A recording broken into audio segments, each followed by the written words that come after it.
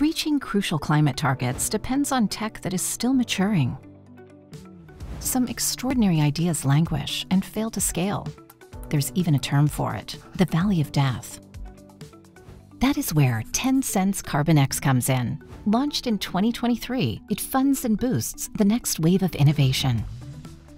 It focuses on carbon capture, utilization, storage, and tech-based carbon removal.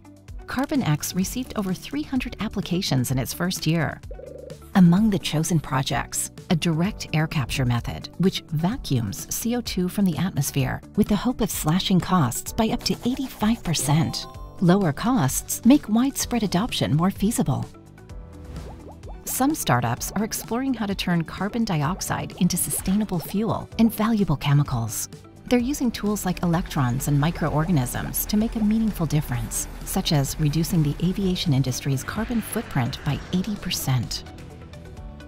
Slag, a steelmaking byproduct, plays a starring role in other novel processes that aim to capture and store carbon directly from steel mill furnace exhausts.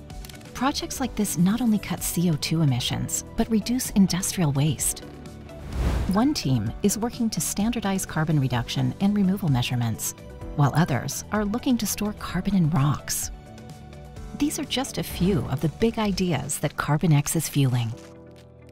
The path to a greener future won't be easy, but we've begun the journey, and we hope you'll join us.